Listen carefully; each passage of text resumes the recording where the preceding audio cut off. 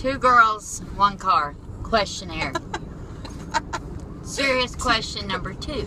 Don't say one car.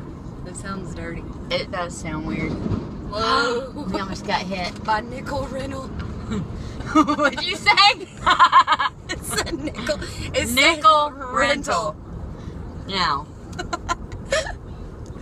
Listen, nickel and diamond rental. if you're going, 40 miles an hour. First of all, who came up with how you measure this Miles per hour. Right. Miles per hour. Did they have a stick? Did they stick out in the air? And as the wind hits this utensil, it measures speed?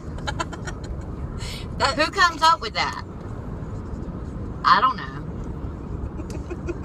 How do they sit there and come up with this stuff? I can't stop laughing. They must have nothing to do. you know, they have no life. You know, kind of like the people that sit there and make up YouTube videos. Nothing to do. Nothing. Absolutely Nothing. nothing. So, Anyway, I'm crying. I'm laughing so hard.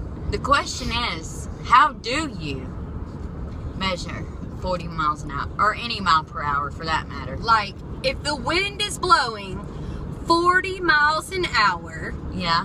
is it blowing down the road 40?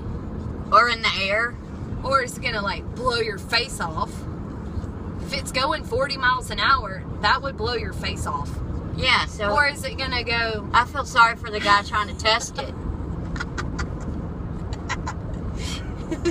He probably has no face. They had, they had a face off. dang?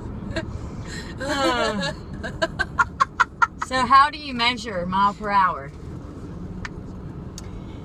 like, I'm driving 40 miles an hour, Literally. but I'm not gonna get there in 40 minutes because I have to keep stopping. Right.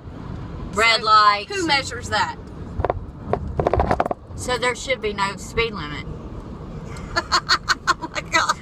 This makes no sense. There goes nickel. There, there goes nickel dime. Maybe he'll blow them. Oh no. I can't even stay on the road.